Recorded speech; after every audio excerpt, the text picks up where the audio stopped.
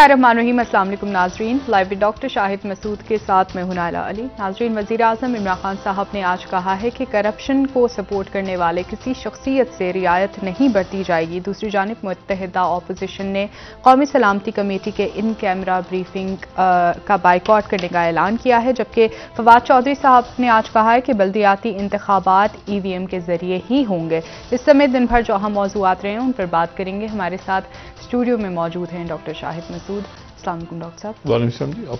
Doctor साहब कौमी सलामती कमेटी के इन कैमरा ब्रीफिंग का अपोजिशन ने बाइकआउट करने का ऐलान किया है। अवामी मसाइल का हल कैसे मुमकिन है जब अपोजिशन और हुकूमत किसी भी मामले पर एक साथ बैठने को तैयार नहीं है मसाइल के हल पर बात करने को तैयार नहीं है? देखिए जी ये आ, इस वक्त मेरा ख्याल है कि सियासत में काफ़ी कुछ हो रहा है जो नज़र नहीं आ रहा हम्म। बजाय लेकिन हो रहा है और वज़ी अजम साहब ने ये जो बात की है कि तीन महीने तक उनके जो साथी हैं वो सारे इस्लामाबाद में रुकें उसकी दो तीन वजूहत समझ में आती हैं जो वज़ी अजम साहब को यकीन उनके एक तो ये जहन में हो सकता है कि लोग जो हैं मुल्क से बाहर ना जाएँ क्योंकि किसी भी वक्त कोई नंबर्स की ज़रूरत पड़ सकती है कोई बिल आ जाए कोई करारदाद आ जाए कोई इस तरह से। और ये बात भी जहन में रहे कि प्राइम मिनिस्टर ने आ, वो बिल अप्रूव करवानी है अभी। वो बिल जो कि State Bank governor State Bank के हवाले से। तो उन बिल्स को मंजूर करवाने के लिए फिर ज़रूरत पड़ सकती है अरकान पार्लियामेंट की। वो होगा इजलास। वो होगा तो फिर उसके बाद वो कर्जा जारी होगा। एक बात तो ये। दूसरी बात यह है कि मुमकिन है वज़ीर अजम साहब को ये इतला मिल गई हो कि उनकी बहुत अहम शख्सियात उनकी टीम की उन्होंने लंदन में मुस्लिम लीग नवाज़ की क्यादत से रबता किया है। अच्छा। नाम मैं किसी का मेंशन नहीं करूँगा। और मुस्लिम लीग नवाज़ की के साथ उनका रबता हुआ है और वो उनके साथ रबता पहले भी रहा है। तो एक हमेशा सलाम दुआ तो रही है, रहती है और कुछ शख्सियात जो हैं वो ऐसी हैं जो कि अपना जो दायरा अहबाब हमेशा उनका वो एक अलग से उनका। तो लंदन में उन्होंने मियाँ नवाज़ शरीफ साहब से रबता किया है। मुस्लिम लीग नवाज़ की क्यादत से किया है, अब वो मुलाकात उसमें हुई है, यानी उसकी मैं फ़िलहाल डिटेल्स यहाँ पे बात नहीं करना चाह रहा। रबता हुआ है, और बड़े मुस्बत किस्म की गपशप लगी है, कोई शख्सियात की। मैं ये भी नहीं कह रहा कि मुस्लिम लीग मियाँ नवाज़ शरीफ नहीं कह रहा मैं। मैं कह रहा हूँ मुस्लिम लीग नून की क्यादत जो लंदन में है, और भी कायदे रबता हुआ है, ठीक है, और बड़ी अच्छी गपशप भी लगी सर्दियों का मौसम, कॉफ़ी, सूप वूप ये दूसरे जो इतिहादी हैं एक और बड़े इतिहादी हैं इमरान खान साहब। उन इतिहादियों से पीपल्स पार्टी की क्यादत मेरे ख्याल से आज भी मुलाकात है। एक आध दिन पहले भी हुई है मुलाकात लाहौर में। हो सकता है ये इतला हो वज़ीर आज़म साहब को। ये हो सकता है कोई और वजह हो। हमारे पास तो ये इतला है। ठीक है? गाजर का हलवा भी था। बड़ा अच्छा था। अच्छा और सूप यखनी लंदन में। चिकन की, गरम गरम। तो फिर वहाँ से कुछ बयान वगैरह भी आप देखे नहीं ना आ रहे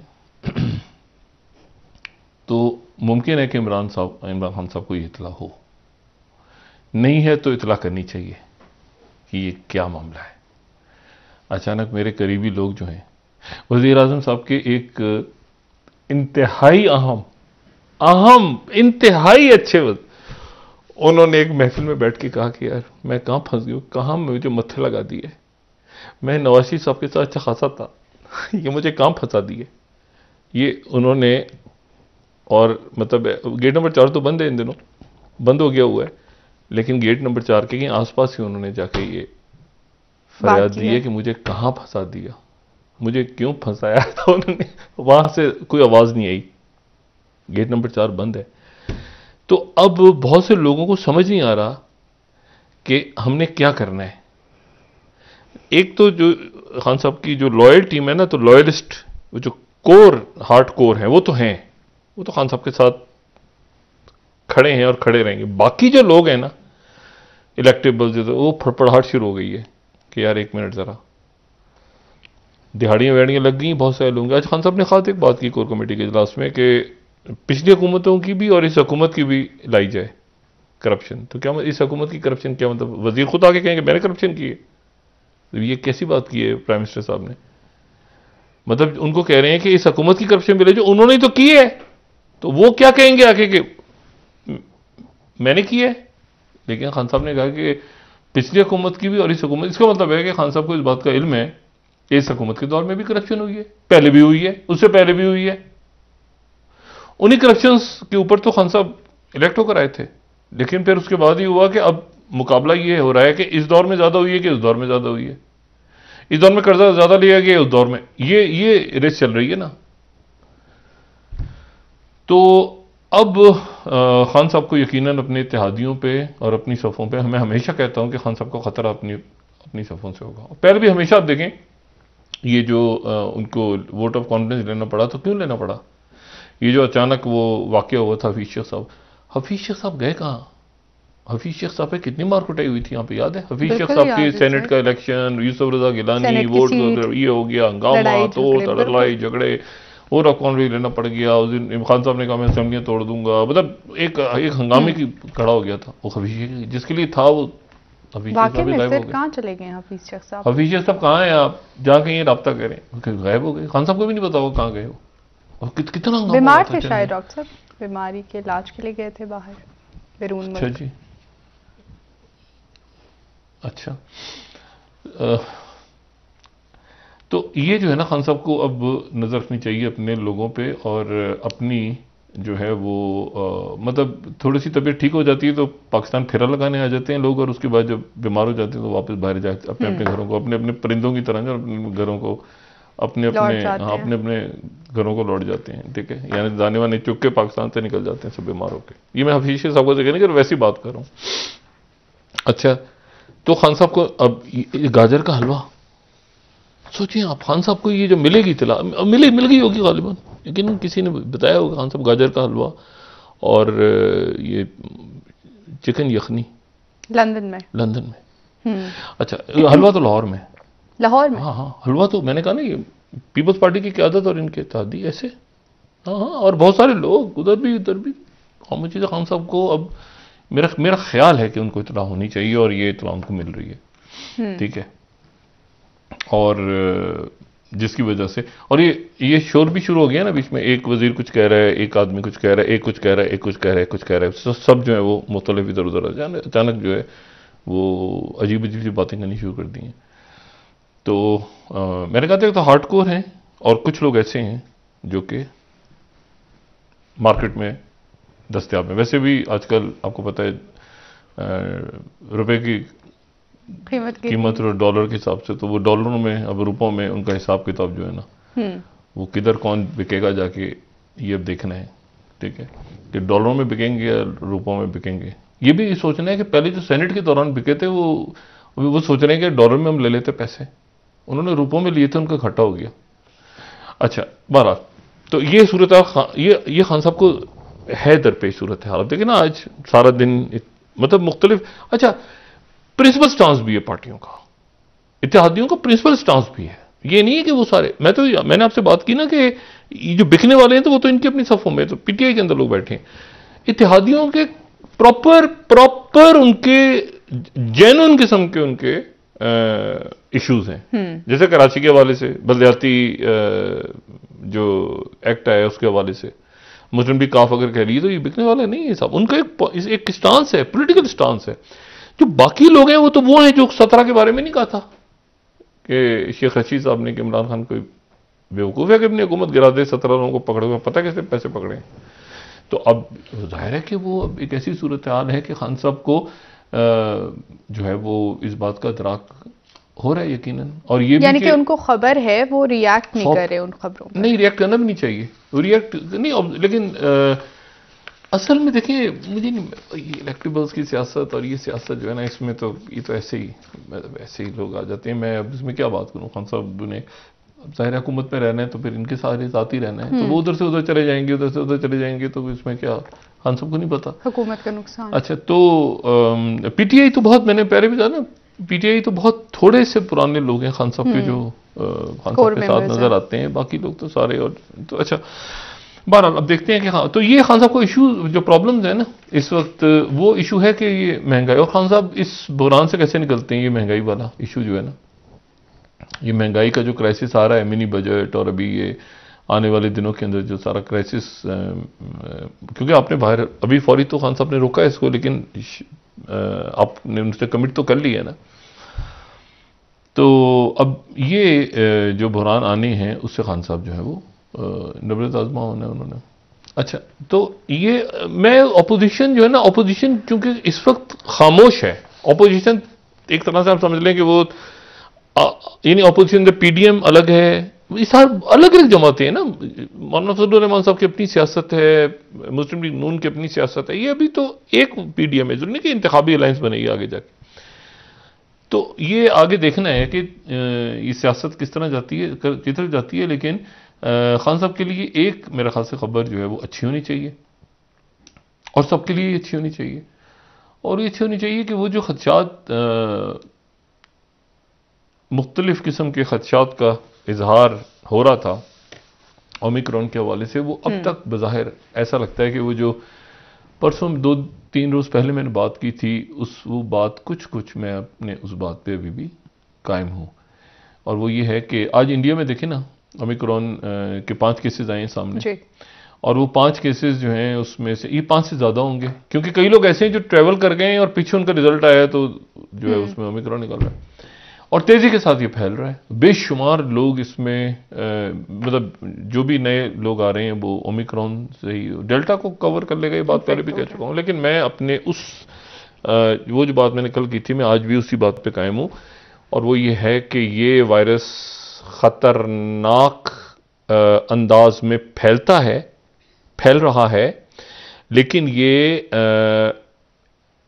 अभी तक इंसानों के लिए लोगों के लिए जिन लोगों ने वैक्सीनेशन करवाई है या लोग जो एहतियात कर रहे हैं या जो लोग बूस्टर डोजेज ले रहे हैं जो हुकूमतों की तरफ़ से पैरामीटर सेट किए गए हैं उनके ऊपर अमल दरामद कर रहे हैं तो उसके नतीजे में वो अभी तक ऐसा नहीं हुआ कि जैसा शुरू में हुआ था ना कि एकदम से तादाद ऊपर जानी शुरू जो अल्लाह करे कि ऐसे ही रहे, ठीक है?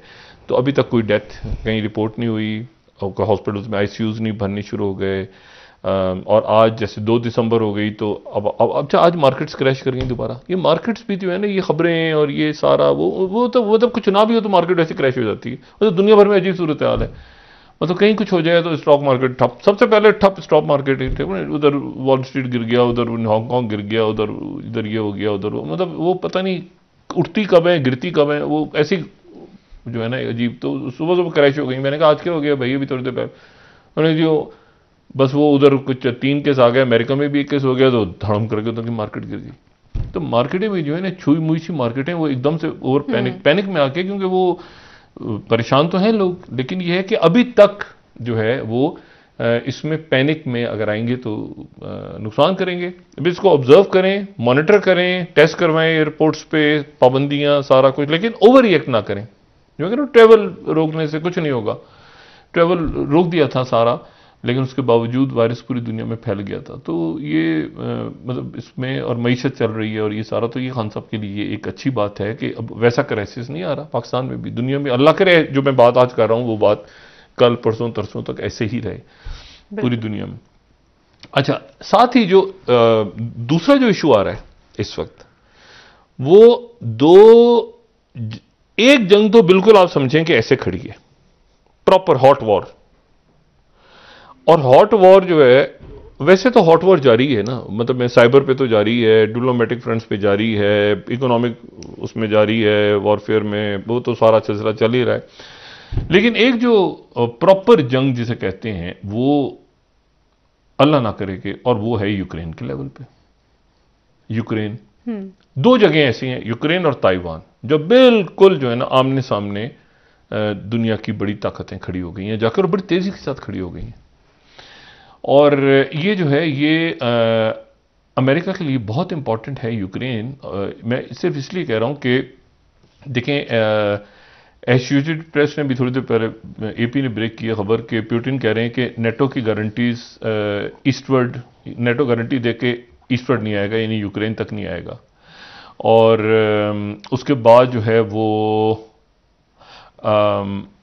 न्यूयॉर्क टाइम्स कह रहा है कि Putin invest spur over NATO's military ties to Ukraine अच्छा तो यूक्रेन जो है, वो इस वक्त जो है, वो खबरों में है और यूक्रेन अच्छा खासा तास खबरी दे रही है कि Putin puts forward bid for detail talks on topping NATO's it for expansion और अल जजीरा कह रहा है Russia planning aggressive moves against Ukraine Blinken से ब्लिंकन ने सेक्रेटरी ब्लिंकन जो है, वो नेटो की समिट के लिए मौजूद हैं ये बेल्टिक स्टेट्स में.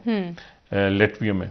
और लेटविया से वो जा रहे हैं स्टॉकहोम और स्टॉकहोम के अंदर उनकी मुलाकात होगी रशियन फॉरेन मिनिस्टर सजाई लरफ से। और वहाँ पर वो उससे पहले उन्होंने बड़ा सख्त बयान दिया है। देखिए बड़ा सख्त बयान दिया है और उसके जवाब में रशिया ने भी ये कहा है कि अमेरिकन सफारतकार जो हैं वो जिनका तीन साल से ज़्यादा टाइम हो गया वो यहाँ से जनवरी तक निकल जाएँ। हम्म। और वाशिंगटन से भी कहा गया है कि वहाँ से भी निकल जाएँ उससे पहले कहा गया था। तो ये तलखी जो है बहुत बढ़ रही है। टर्की जो है वो दरमियान में कोई बड़ा रोल टर्की मीडिएट करने की कोशिश कर रहा है लेकिन टर्की इस वक्त जो है वहाँ पे जो कि फाइनेंशियल क्राइसिस आया है आज उनके फॉरेन मिनिस्टर जो हैं सॉरी फाइनेंस मिनिस्टर उन वो भी अपने अहदे से हटा दिए गए हैं। और वहाँ पे वो लीरा का मसला और वो सारे इश्यूज़ फाइनेंशियली चल रहे हैं तो इस वक्त वो टर्की जो है वो शायद इस पोजीशन में नहीं है बहुत ज़्यादा, क्योंकि इंटरनल क्राइसिस ऐसा है और तो उनसे निपटा लेंगे, लेकिन वो इस वक्त ये बिल्कुल भी नहीं चाहेंगे कि यूक्रेन और इस इस मरहले पे यूक्रेन और जो है वो प्यूटिन और वेस्ट का कोई झगड़ा हो जाए, ठीक है?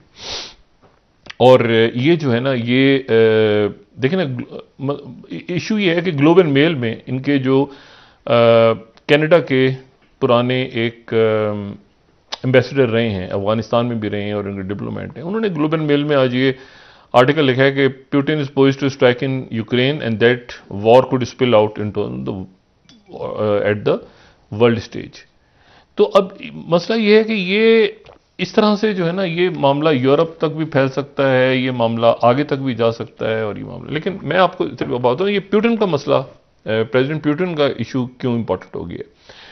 कि बिल्कुल ऐसे हैं ब्लिंकन के साथ। अच्छा जनरल ऑस्टिन लॉयड और जो जनरल मार्क मेलिंग है वो हैं इस वक्त साउथ कोरिया में। हम्म। हमारे लिए क्या प्रॉब्लम है?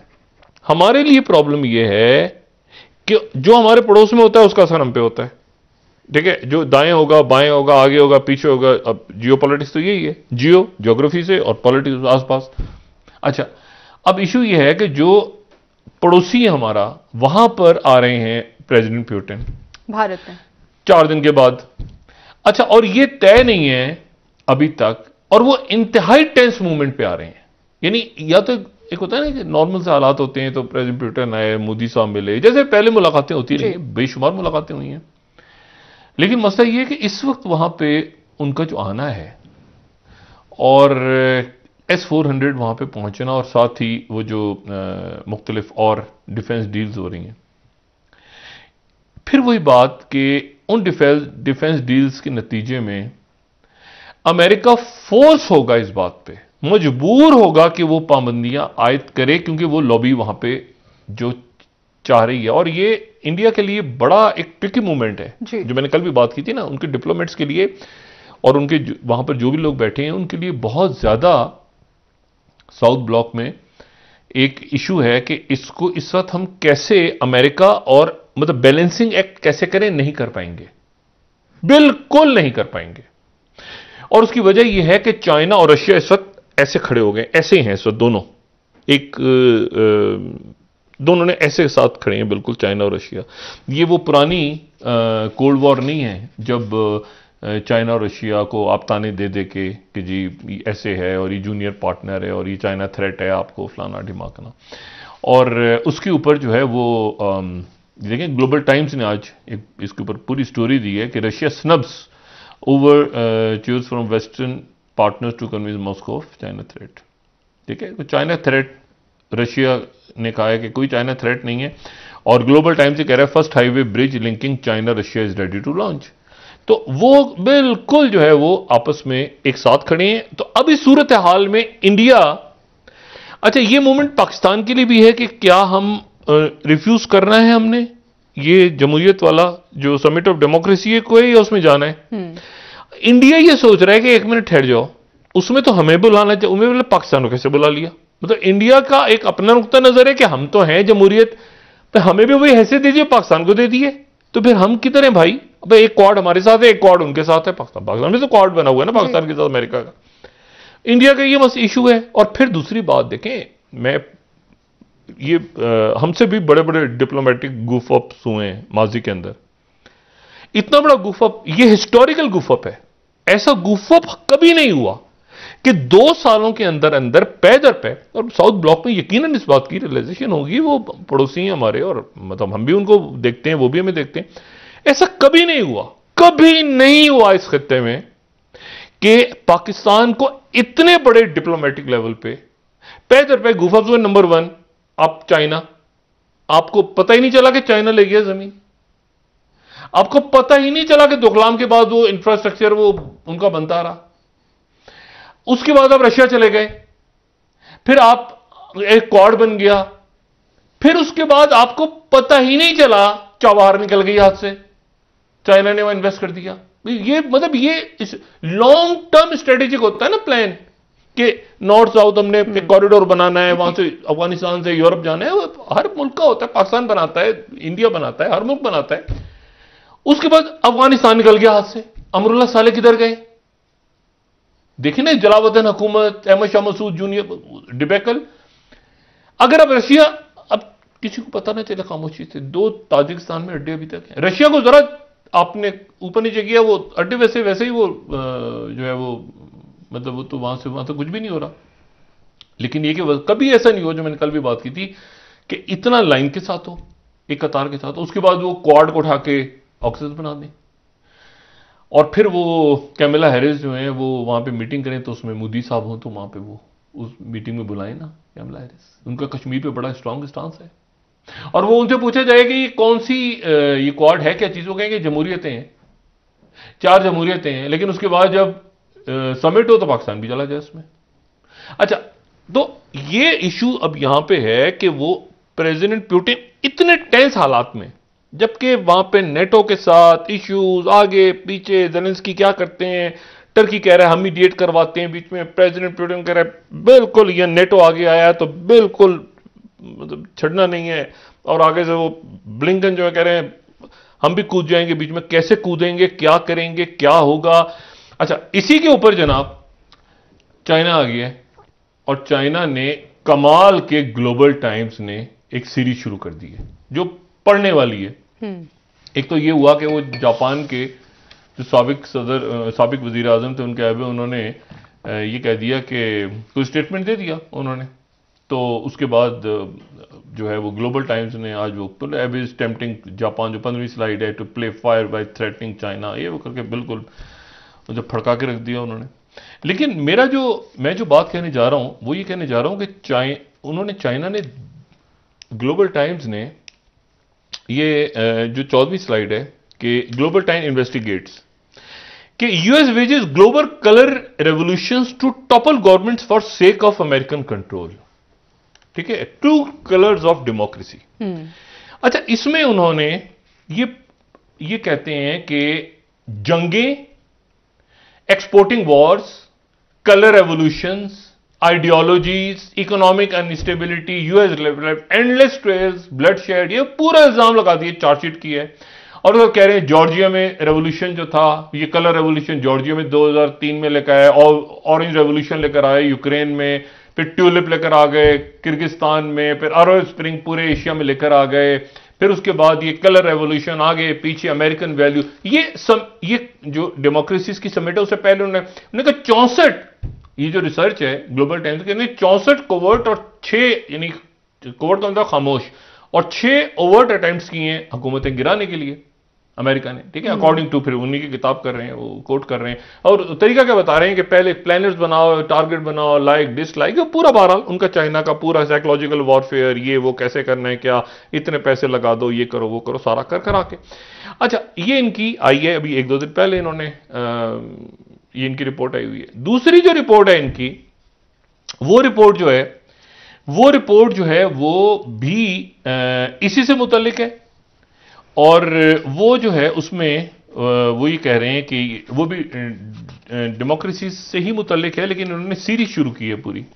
और वो है जो हमारी सत्ताईसवीं स्लाइड है ना Global Time investigates US warmongering under guides of democracy वो कहते हैं कि ये पूरी दुनिया में जो है वो आ, मतलब एक उन्होंने डेट शुरू कर दी है कि 204 जो है वो जब से तारीख हुई तो एक्सट्रीमिट आइडियाज़ को ये एक्सपोर्टिंग वॉर्स लेकर आए जंगें हुई इराक में क्या हुआ अफ़गानिस्तान में क्या हुआ कितने लोग मारे गए कैसे हुआ कैसे इन्होंने वॉर मतलब एक हिस्टोरियन को कोट करके पूरा उन्होंने जनाब चाइना ने एक अपना आप समझ लें कि मीडिया के ऊपर एक ऑन स्लॉट ठीक है? वर्ल्ड वॉर टू में ऐसा हुआ इतने लोग मर गए 240 मतलब पूरा उन्होंने जो है इतनी जंग हुई और ये डीप स्टेट वो कहते हैं कि मिलिट्री इंडस्ट्रियल कॉम्प्लेक्स उनकी डीप स्टेट मतलब ये तो इनकी तरफ़ से आ गया।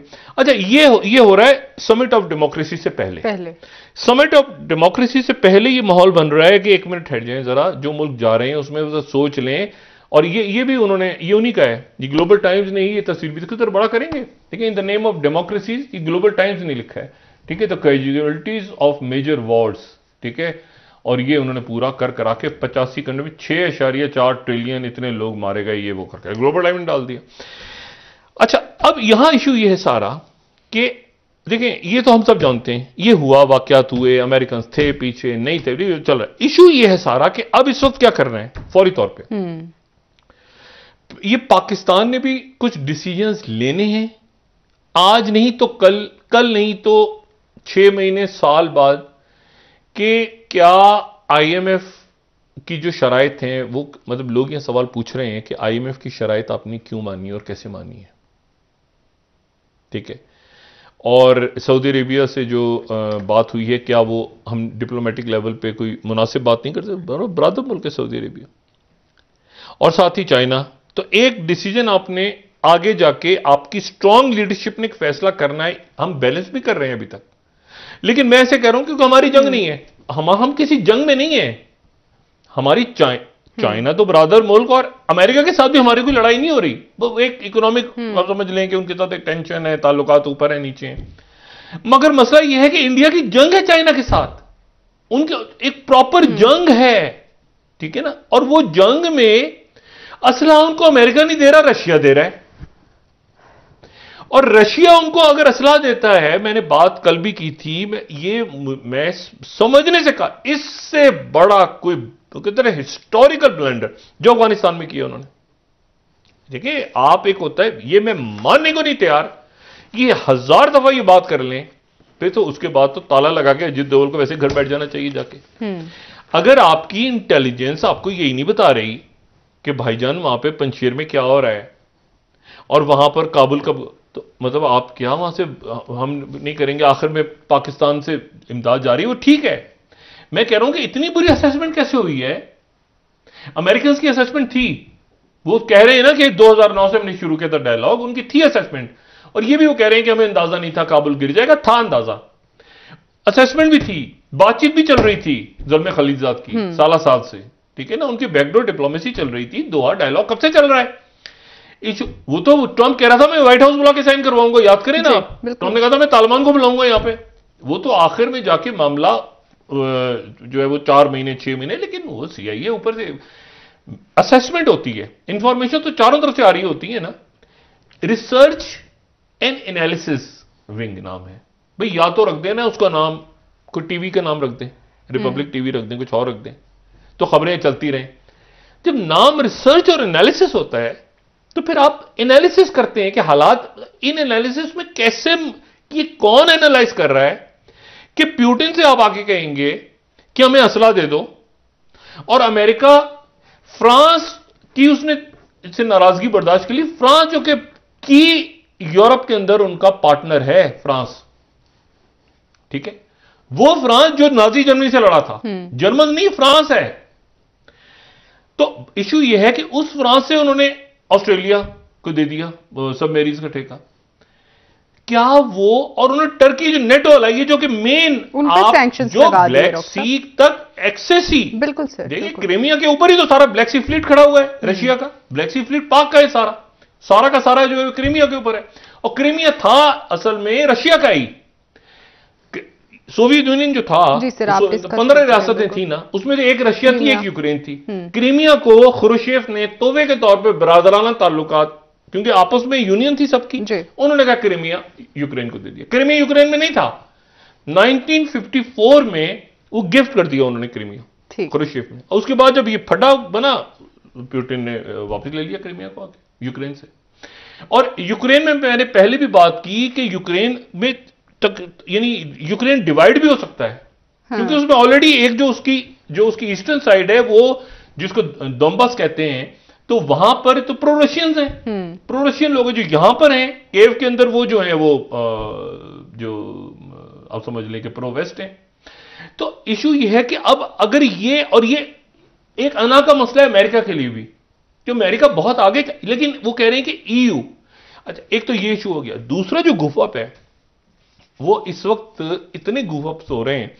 ये जो कल देखे अनाउंस किया ना इन्होंने, मैं इसको थोड़ी सी इसका ये कल जो नाइनटीन स्लाइड है, ये इन्होंने बीआरआई के अगेंस्ट यानी बेल्ट एंड रोड इनिशिएटिव के अगेंस्ट जो कल भी बात की थी यूरोपियन कमीशन ने 300 बिलियन का ग्लोबल गेटवे स्टार्ट किया है, जिसमें ब्रिजेस होंगे पुल होंगे सड़कें होंगी ये अभी सिर्फ़ प्लान है या एग्जीक्यूशन नहीं नहीं उन्होंने कह दिया पाँच साल में। पाँच साल में साठ बिलियन डॉलर यूरो साठ बिलियन यूरो हर साल खर्च होंगे। पाँच सालों में पूरी दुनिया में एक लिंक बन जाएगा। वो जैसे बेटर रोड इनिशिएटिव लेकिन इसके ऊपर इकोनॉमिस्ट ने मैं वो अल्फाज दोहरा नहीं सकता। इकोनॉमिस्ट हम्म। ने आज जो लिखा है मतलब हम यहाँ पे लफ्ज दोहरा नहीं सकते स्लाइड दिखा देते हैं। उन्होंने तबसरा क्या किया? है जी प्लीज़ उन्होंने तबसरा ये बीसवीं स्लाइड दिखाए ब्रसल से ऐलान हुआ था ना।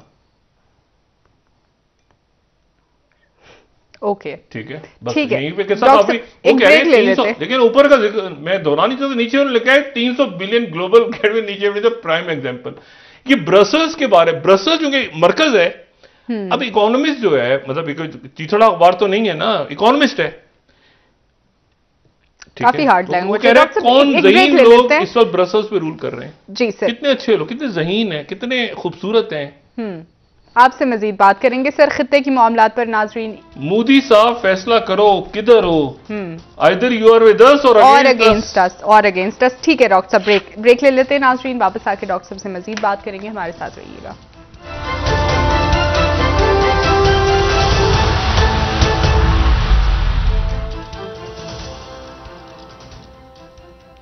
वेलकम बैक नाजरीन जी। डॉक्टर साहब शहबाज शरीफ साहब और मुस्तफ़ा कमाल साहब के दरमियान भी टेलीफोनिक रबता हुआ है। रबते बहाल हो चुके हैं। अपोजिशन जमातों में भी आ, क्या हुकूमत को टफ टाइम देने के लिए इस बार अपोजिशन जो तैयारी कर रही है वो करामत साबित होगी? देखिए एक तो कौमी सलामती कमेटी का इजलास होना है। जी सर और उस इजलास में अपोजिशन ने कहा कि हम नहीं आ रहे।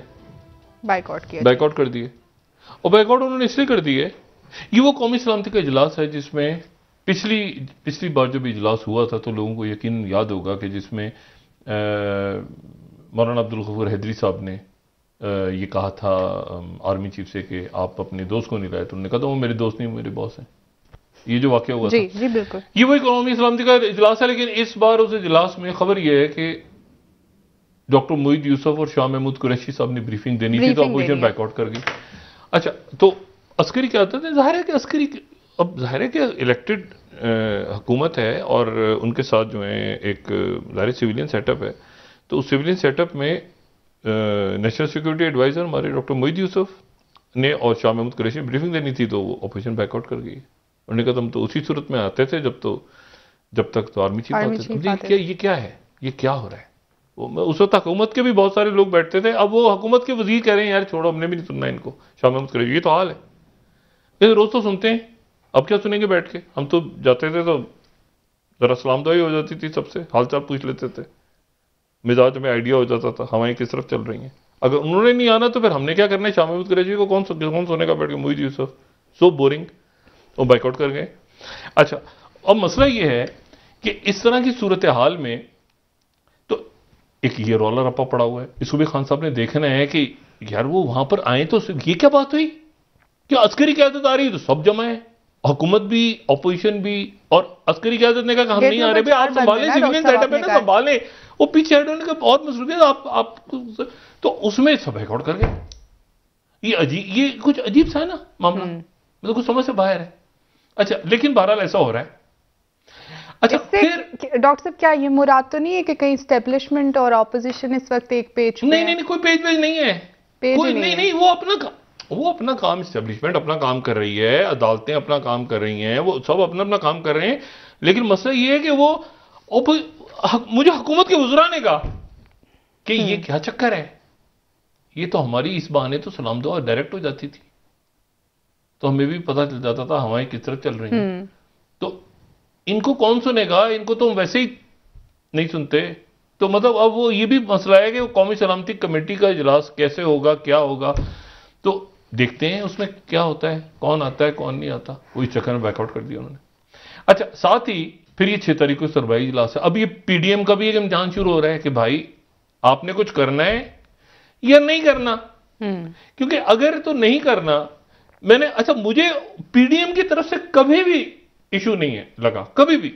इशू लगा है यहाँ पर हमेशा। अब ये गुफब हुआ हुआ है ना माशी मसाइल ये कैसे साइन अब मुझे बताएँ ये वो बात थी जो असद उमर ने कही थी शुरू में। क्या मैं आईएमएफ के पास नहीं जाना चाहिए? ये थोड़ी ताखिर हुई थी। उसके बाद एक रौला रपा पड़ गया जाना चाहिए जाना चाहिए जाना चाहिए जाना। अच्छा जो कह रहे थे जाना चाहिए जाना चाहिए वही अब कह रहे हैं क्यों गए? बस एक अजीब से वही कह रहे हैं क्यों गए? हमने तो कहा था जाना चाहिए ऐसी शराय तो नहीं होनी चाहिए थी। अब अच्छा, ऐसी शराब गवर्नर पंजाब ने कहा है कि छह अरब के बदले हमें सब कुछ लिखवाना पड़ रहा है आईएमएफ को। एतराफ कर रहे हैं चिकन यखनी। अच्छा, अच्छा। नहीं नहीं वो सॉरी गवर्नर पंजाब की आपने बात अलग की थी उसका कोई ताल्लुक नहीं है। गवर्नर पंजाब जो है ना देखें उन्होंने बात तो एक कही है ना और एक हम्म। बड़ा उनके जो है वो बड़े ज़बरदस्त हैं। आपको पता है जब नवाज़ शरीफ नाराज़ लग रहे हैं हुकूमत से डॉक्टर साहब उन्होंने बात वो उन्होंने कहा है कि भाई ऐसे कैसे? नवाज़ शरीफ साहब जो है ना पंजाब के गवर्नर ये नवाज़ शरीफ साहब बनाना चाह रहे थे हमारे इंतई मोहतरम है अताउल्ला कासमी साहब को। अच्छा। जी। तो अताउल्ला कासमी साहब से तो इनसे भी कह दिया उन्होंने कहीं। अच्छा चौधरी सरवर गवर्नर साहब से भी कह दिया। चौधरी सरवर साहब नवाज़ शरीफ साहब के भी गवर्नर पंजाब रहे हैं। जी। नवाज़ शरीफ साहब के भी गवर्नर पंजाब रहे हैं। हम्म। तो कहीं इधर से भी कह दिया। तो चौधरी सरवर पाकिस्तान आ गया। अब अनाउंसमेंट नहीं हो रही। चौधरी सरवर की अनाउंसमेंट ही नहीं हो रही। चौधरी सरवर बैठे हैं अनाउंस ही नहीं हो रहा गवर्नर। मियाँ नवाज़ शरीफ साहब को कॉल किसने की? ब्रिटिश प्राइम मिनिस्टर ने। कि ये चौधरी सरवर आपके यहाँ गए मिस्टर नवाज़ शरीफ? आपने क्या किया उनके साथ? आपने क्या किया उनके साथ? मियाँ साहब ने फॉरन से। अतल कासमी साहब हमारे मोहतरम जो चौधरी सरवर साहब की बड़ी पहुँच है। अच्छा। बड़ी डायरेक्ट लाइन है डायरेक्ट मैंने कहा ना वो मतलब स्ट्रेट वो जीते हैं ग्लासगो पे वहाँ के वो पार्लियामेंट के रुकन रहे हैं यूरोपीय पार्लियामेंट में। उनकी अक्रॉस द बोर्ड बल्कि उनका जो जहाँ से उनको वोट पड़ते हैं वहाँ से इंडियंस उनको वोट देते हैं गोरे भी वोट देते हैं। तो उनका एक ऐसे थोड़ी कि पाकिस्तानियों का अलग हल्का बना हुआ है तो इंडियंस का अलग बना हुआ तो एशियन के तौर पे बड़े वो जीतते रहे वहाँ से एमपी तो मसला ये है उनके साहबजादे भी बड़े एक्टिव है। तो उन्होंने बात तो ठीक की है कि भाई ये जो आईएमएफ की शराइ ये तो हर बंदा बात कर रहा है हम्म। हुकूमत की तरफ़ से ये बात आना। खासतौर पर जब हुकूमत बिल्कुल डिनाई कर रही हो और ये तो लेकिन यह है कि खान साहब को ये बात तो यकीन बहुत अरसे से पता होगी कि चौधरी सरवर साहब जो हैं वो नाराज़ हैं किसी बात पे। और दूसरी बात यह कि चौधरी सरवर साहब जो हैं आखिर अचानक बैठे बैठे उनको तीन साल के बाद ये क्यों ख्याल आया? हम्म। अपने गवर्नर हाउस जो है वो कितना खूबसूरत और कितना बड़ा गवर्नर हाउस है पंजाब, का। पंजाब का। कराची का ये कितने बड़े इत, मेरे खुदाया ये पूरी पूरी मतलब एक गैर कानूनी हाउसिंग सोसाइटी एक तरफ़ और गवर्नर हाउस का रकबा एक तरफ़। आपको बिल्कुल ऐसे लगेगा कि ये जो है ना बराबर है। बराबर है। रकबे के लिए हाँ गैर कानूनी हाउसिंग सोसाइटी और गवर्नर हाउस अच्छा काम तो दोनों तरफ़ एक ही किस्म का होता है ना। इशू ये है कि गवर्नर हाउस का आप रकबा देखें हम्म। और उसके बाद अब देखें उनका खर्चा कितना होता होगा गवर्नर हाउस का। ये नहीं कि गवर्नर साहब पे गवर्नर हाउस का खर्चा कितना होता होगा। मुलाजिमीन है, मुलाजिम टैक्स पेयर्स का पैसा है सारा ये पैसा क्या आसमान में टपक रहा है दरख्तों पे लगता है सुबह सुबह गवर्नर हाउस के। जो टमाटरों के पौधे हैं वहाँ पे। हम्म। इशू ये है कि वो पैसा तो पब्लिक का है। तो अब ये जो है मेरा ख्याल है कि चौधरी सरवर सबको इस बात का अंदाज़ा हुआ है कि भाई मुल्क गरीब मुल्क है। और अगर गवर्नरी जाती है तो चली जाए।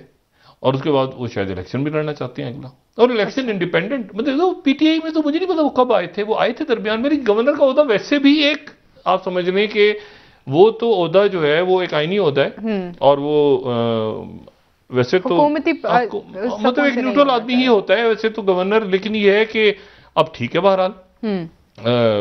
पिछले कई अदवार से वो जो है वो सियासी जमाती हैं अपना गवर्नर लगाती हैं। लेकिन इशू मैं जो पॉइंट कहना चाह रहा हूँ ना मैं कहना चाह रहा हूँ कि इस डिफाइनिंग मूवमेंट्स में जब ताइवान अफ़गानिस्तान अफ़गानिस्तान के फंड्स रिलीज़ करना शुरू कर दिए जी सर वर्ल्ड बैंक ने। और अफगान देखिए यहाँ पर एक खामोशी नहीं, खामोशी खबर अल्लाह का शुक्र है वहाँ अल्लाह का देखिए, अल्लाह का एक जो फॉल आउट होना था हम्म। एक अभी तक वहाँ पर मतलब वो जो था ना कि लाखों की तादाद में लोग मर जाएँगे खुदा खाना जंगी हो जाएगी ये हो जाएगी फलां हो जाएगा लोगों ने अफगानों ने संभाल लिया। बिल्कुल और अशरफ गनी अशरफ गनी तो नहीं हामिद करजई साहब ने बड़ा अच्छा इंटरव्यू रात को मैं देखा बीबीसी पे। अच्छा। उन्होंने कहा तालिबान हमारे भाई हैं। अच्छा तो बात यह है कि Inclusive government की बात हो रही थी, इंक्लूसिव गवर्नमेंट अभी अभी रुक गया अभी साइड पे। अभी वो अभी वो चला अब यूक्रेन का फड्डा अभी देखिए ना अब यूक्रेन अभी जो है वो रशिया, और सर्दियाँ आ रही हैं पैसे देंगे। ओआईसी का इजलास सऊदी आपके ख्याल से सऊदी अरेबिया जो है ये यूएई तो 50 साल उनके हुए उनको बहुत मुबारक हो उस पर कल भी बात करेंगे यूएई को। लेकिन आप देखें हम्म। ये सिर्फ़ देखें कि वो जो है वो ये लेबनान से उन्होंने बुला बोला तो लेबनान को छोड़ देंगे क्या? नहीं छोड़ेंगे। ये इस्लामी मुल्क ही जाएँगे रिकंस्ट्रक्ट करने। जी। या अमेरिका जाएगा या ईरान जाएगा या तो ये मुल्क खड़े हो जाएँगे अपने पैरों पे। है ना? अफ़गानिस्तान अफगानों को क्या समझती हैं आप? अफगान जो है वो आपके ख्याल से वो वो मतलब है कि उन्होंने मुल्क खुद बनाएँगे अपना। इशू ये है कि वो एक जो बात जो मैंने कल भी बात की थी कि वो डॉक्टर हामिद अंसारी हैं शायद इंडिया के जो वाइस प्रेसिडेंट सबका। उनको मैं एक आर्टिकल पढ़ा था द हिंदू में। वो कहते हैं कि अफ़गानिस्तान को न्यूट्रल स्टेट बना देना चाहिए जैसे कि स्विट्जरलैंड न्यूट्रल स्टेट है। और वो कहते हैं कि देखें जी वो अफगान मुजाहिदीन के आने से पहले अफगान वॉर से पहले तो अफगान ज़ाहिर शाह के दौर में तो न्यूट्रल स्टेट था। हम्म। तो मेरा ख्याल है वो थोड़ा सा अपनी तारीख का मुताला दोबारा फरमाए इंतहाई काबिल एहतराम है। ये न्यूट्रल स्टेट कब था अफ़गानिस्तान? अफ़गानिस्तान के ये जब उससे पहले वो कहते हैं ये देखें ना अफगान वॉर से पहले तो न्यूट्रल स्टेट था। न्यूट्रल स्टेट स्विट्जरलैंड था। उससे पहले खाद क्या कर रही थी बैठ के? हाँ। वहाँ पे गोटियाँ खेल रही थी। इन्हीं कैसी बातें करते हैं ये? भाई मसला ये है कि वो वो न्यूट्रल स्टेट कब था ज़ाहिर शाह के दौर में? यानी उन्होंने स्टार्ट किया है कि ये अफगान वॉर से पहले एक न्यूट्रल रियासत थी दोबारा न्यूट्रल रियासत होनी चाहिए जहाँ से कोई दहशतगर्दी नहीं होता। अच्छा तो ये जो बोरी बाज़ार में बम धमाके और आगे पीछे सारा इशू जो चलता था तो अफगान सोल से होता तारीख रही है डॉक्टर ज़्यादा एज हो गई वो अपनी यादाश्त उनकी अपनी वो बादाम बादाम खाएँ। इशू ये है। कि वो तो सॉइल यूज़ होते थे पाकिस्तान के अगेंस्ट हम्म। इसीलिए ये जो मसला खड़ा हुआ था जब सोवियत यूनियन वहाँ पे आया है तो उस वक्त अमेरिका ने तो नहीं कहा जाना जियाउलक से। उस जियाउलक ने पहले फटा शुरू किया है कि ये हमारी तरफ़ ना आ जाएँ। अमेरिका बाद में कुछ उन्होंने कहा एक मिनट है जो अच्छा मौका है वो बाद में आए हैं। हम्म। पाकिस्तान पहले खड़ा हो गया था कि ये सोवियत यूनियन आगे ना क्रॉस कर ये ये हिस्टोरिकल ऐसा नहीं कि वो तो सोवियत यूनियन आ गया तो साथ ही पाकिस्तान खड़ा हो गया था सॉरी साथ ही अमेरिका आ गया था। अमेरिका बाद में आया है उस जंग में जब उन्होंने देखा कि पाकिस्तान तो यहाँ पाकिस्तान खड़ा हो गया था क्या हम आगे नहीं आने देंगे सोवियत यूनियन? तो इशू ये है कि हिस्टोरिक हिस्टोरिकल फैक्ट्स को तो डिस्टॉर्ट ना करें ना तारीख में जो चीज़ हुई है कि जी न्यूट्रल स्टेट बन जाएगी होना चाहिए बनना चाहिए। लेकिन अफ़गानिस्तान न्यूट्रल स्टेट नहीं था। अफगान वॉर से जो सोवियत वॉर से पहले भी नहीं था राय ज़्यादा ज़रूरी है इस अब बन जाए अल्लाह का खुदा है। करे अब बन जाए और बन रहा- बनने जा रहा है इंक्लूसिव गवर्नमेंट। सारे ममालिक लेकिन चाइना भी कह रहा है टर्की भी कह रहा है पाकिस्तान भी कह रहा है इंडिया भी कह रहा है ईरान भी कह रहा है अरब ममालिक कह रहे हैं टर्की कह रहा है अमेरिका सब कह रहे हैं बन जाएगी लेकिन ये बहुत बड़ी गलती है कि कहा जाए कि अफ़गानिस्तान कभी भी अफ़गानिस्तान को आलमी ताकतों ने एक न्यूट्रल स्टेट के तौर पे रहने दिया है। नहीं रहने दिया। ज़ाहिर शाह के दौर समेत। बहुत शुक्रिया डॉक्टर साहब। नाजरीन प्रोग्राम का वक्त खत्म हुआ। कल इंशाल्लाह दोबारा आपसे मुलाकात होगी। मुझे नायल अली को इजाज़त दीजिए। अल्लाह हाफिज। जी डॉक्टर साहब। अपना दोस्तों रिश्तेदारों को के लोगों का सबका ख्याल रखिएगा। अल्लाह हाफिज़।